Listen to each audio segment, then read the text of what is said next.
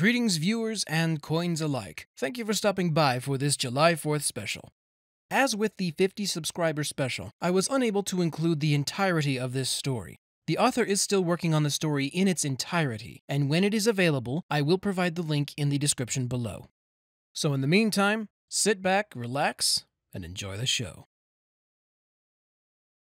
Persona Reflections The Trial of Strength. Written by Amihan Lumaban. August 26th, 20XX. Evening.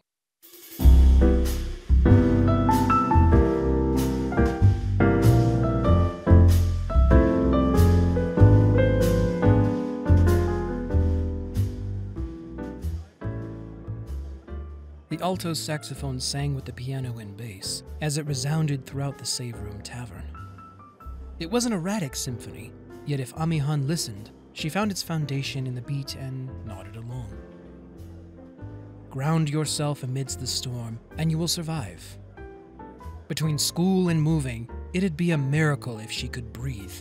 Instead, she had another chain holding her back. Hey, Ami. This is Lorelai. Wow. Can you believe it's been a year? Let's catch up. Amihan adjusted her glasses over fatigued topaz eyes as she reread the direct messages on Somnoroy's app. She leaned back in her seat and drummed her fingers against the tavern's oak table. This had to be a joke.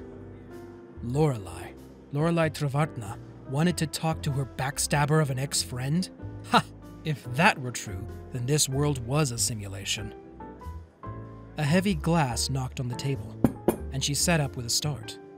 What the hell? She had not ordered yet. Oh, a jasmine dragon? Her gaze darted up just in time to see an hourglass of a woman plop down in the seat across from her with her own drink. It took a moment for Amihan to register the impish grin and smiling dark eyes, but when she did, she couldn't help but laugh.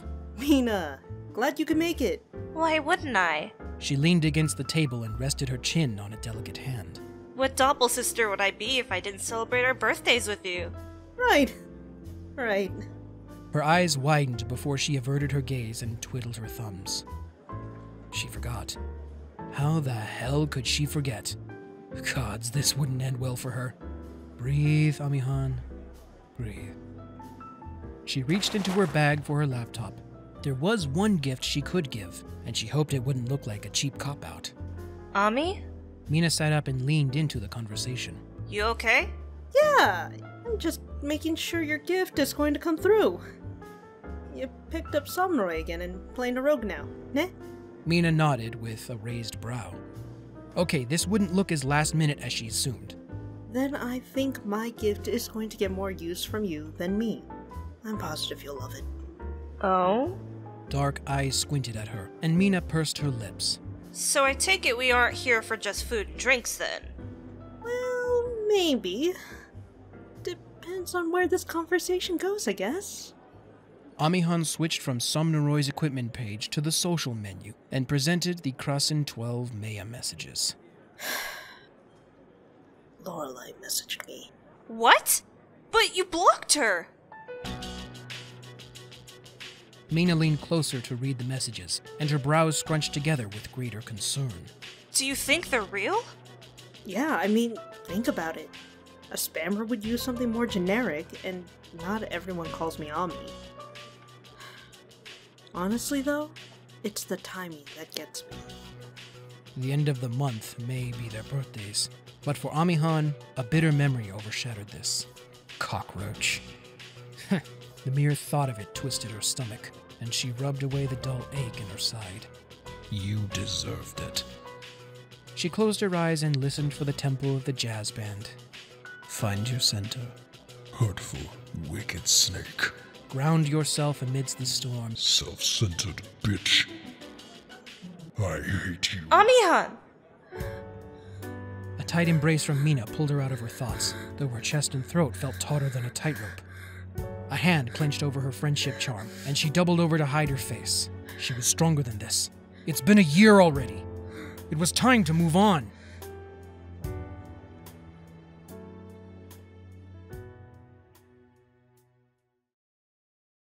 August 27th, 20XX. noontime.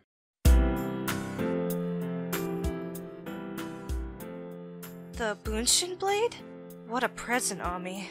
Mina sat at the edge of her bed and looked over it with her True Eyes AR. Ami's weapon was a delightful reminder of why she loved Somnoroy's crafting.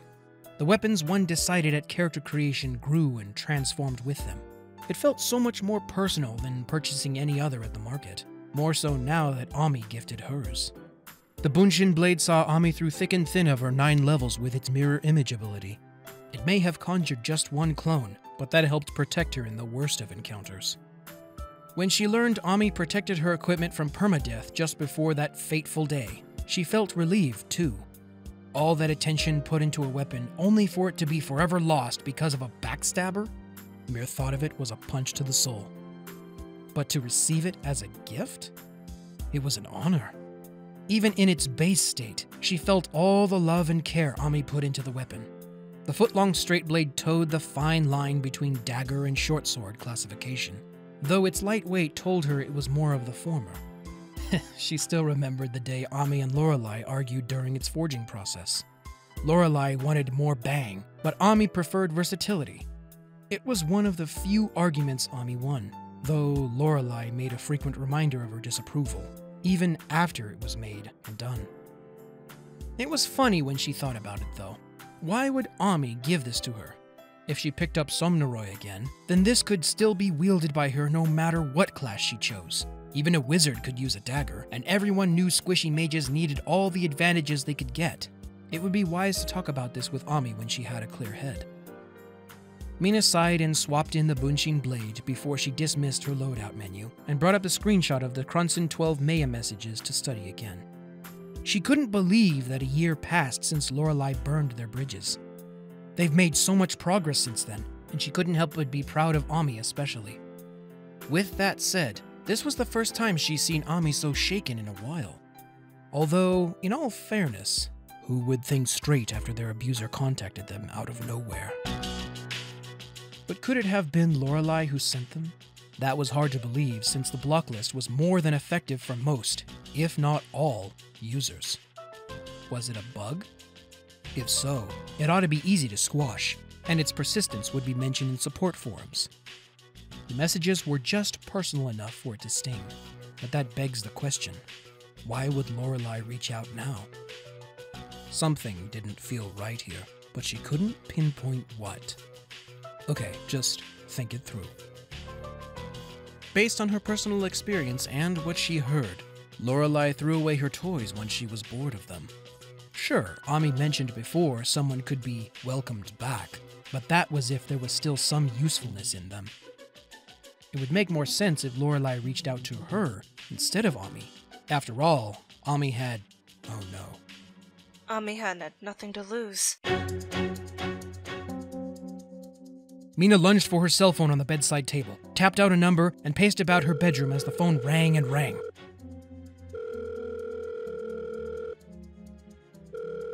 Come on, Ami. Come on and pick up already. Without a doubt, this little minx got a head start on her scheme, but that didn't mean she couldn't catch up. She switched the phone to call her True Eye and summon the group chat. Guys, I have a situation. What's going on? Amihan's being too stubborn for her own good, and I think she's walking into a trap. On Somnoroy? Maybe even the other Somnoroy. No time to explain. I think she's headed to Whaleschmidt Park. I'm close by. I'll be there in five. Her fingers froze when the other end of the call had a moment of silence, and she released a held breath when she heard a familiar voice. Hey, Mina, how's the. Amihan Malaya Lumaban. Ah, shit. August 27th, 20XX. Afternoon.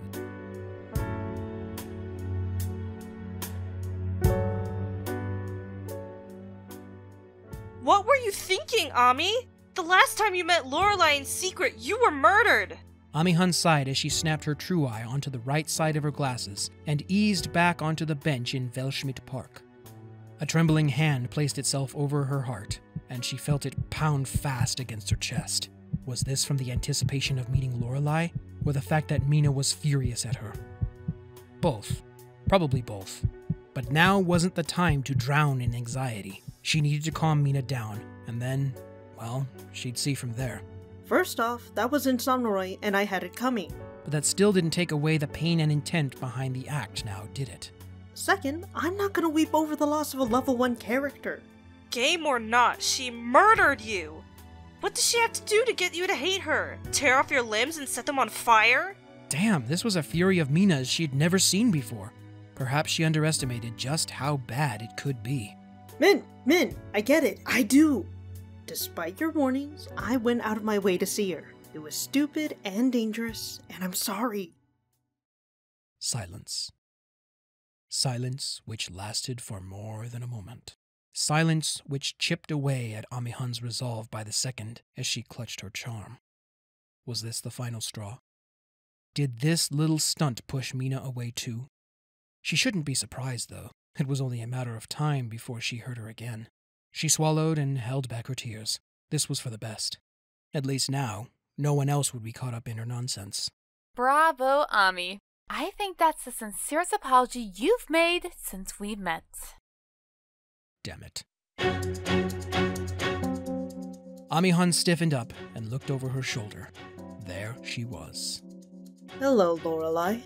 A cheeky smile split across the brunette's face as she sauntered over. That prompted Amihan to stand and keep the bench between them while she surveyed her surroundings. The amphitheater behind her provided the quickest escape. Splash pads near the parking lot could be a roadblock, but it would test how waterproof the True Eye was. I wish you'd call me Lore again. Her smile faltered, and she fidgeted with her loose button shirt. I kinda miss it. Uh huh. Amihan stood firm and pocketed one hand. A flip from condescending to vulnerable just like that. How had she not noticed this before? Had it always been like this? Or was she that much of a bleeding heart to fall for it? So why'd you call me all the way out here? Why are you acting so defensive, Ami? I come in peace. Lorelai approached the bench and rested her forearms against its back. I just wanted to talk. But last time, no. Wiser to check how much Lorelai changed, if at all. About what? About what happened last year. Lorelai met eyes with Ami. It was stupid, childish, and if I could go back, I'd change what happened. Amihan's eyebrows shot up with surprise, and she broke away from that unwavering gaze. Could it be? Lorelai taking responsibility for her actions? It felt too good to be true, but no harm in humoring her, right? I get what you mean. I think about it almost every day. What would you have done different then? Be more transparent? She glanced up from the corner of her eyes. All three of us were friends, and it was scummy of me to go behind your back. Oh, yeah, that's a good one. Lorelai stared into the distance and mused over her thoughts. Now that I think about it, I shouldn't have let Mina go with you. And there it was. Let her. Are you kidding me? Mina was my girlfriend. That didn't mean you could make decisions for her. She's not your property. It also didn't mean you could take her away from me either. Lorelai grasped her wrist and shook her head in disbelief. Look, I know you were jealous of Mina. Jealous of her? For you? Ha! Amihan circled away from Lorelai and narrowed her eyes. What sort of mental gymnastics does it take to. Wow! And here I hoped you spent this past year getting your head out of your ass. And I thought you realized it was wrong for you to break us up. So I guess it evens out. Lorelai shook her head and extended her hand in good faith. Let's make this right. Just say you're sorry, and we can all be friends again. Okay? Amihan's condensed breath escaped with a sigh. This wasn't going anywhere like she planned or even expected. And now, given Lorelai's demeanor, she wasn't sure if she could do or say anything which would appease her. Damn it, here she was again, basing decisions on her ex friend's potential reactions. Okay, screw it. You know what? I won't deny that I got the ball rolling, Lorelai.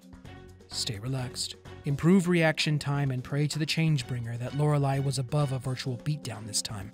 But your reactions were the final decision for us, whether you knew it or not.